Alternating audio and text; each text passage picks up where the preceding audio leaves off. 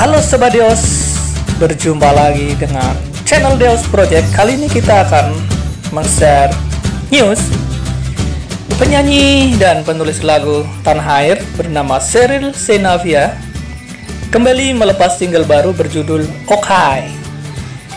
Di single terbarunya, Cheryl Senavia bekerja sama dengan musisi Petra Sihombing Lagu Oke ini dirilis saat pandemi COVID-19 yang melanda dunia saat ini membuat keadaan semakin tak menentu yang membawa dampak masyarakat dirundung atas panik dan ketakutan.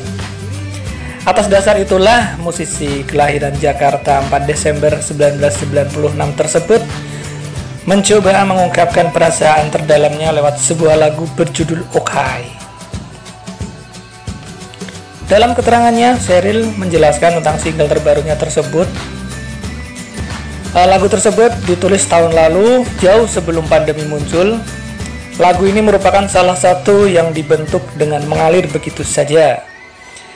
Dari hasil yang benar-benar dirasakan oleh Cheryl. Sementara mengenai kolaborasinya dengan Petra Sihombing, uh, Cheryl ini yang juga melantunkan single Sweet Talk, I Don't Mind, Pick You Up, Kutunggu Kau Putus tersebut menjelaskan. Untuk pembuatan video musiknya, Cheryl bekerja sama dengan Benny Lim dengan menggunakan teknik online directing lewat smartphone. Benny berhasil mengambil shoot natural yang membawakan lagu tersebut lewat lagu Okai. Seril mencoba untuk memberi pesan kepada semua orang bahwa ketika kita gagal dalam mencapai sesuatu, maka akan muncul rasa sedih dan kecewa.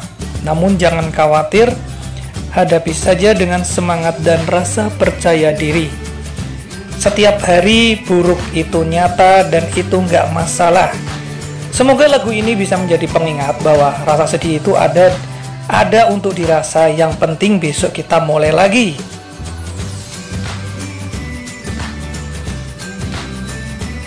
Demikian news hari ini. Sampai jumpa.